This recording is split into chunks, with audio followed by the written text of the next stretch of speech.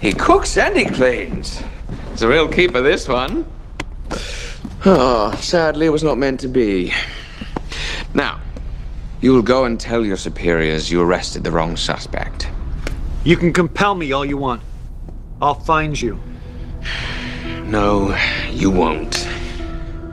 Instead, you'll keep up this wretched failure that is your life. You'll continue with this pitiful investigation, never quite connecting the dots or making any progress whatsoever.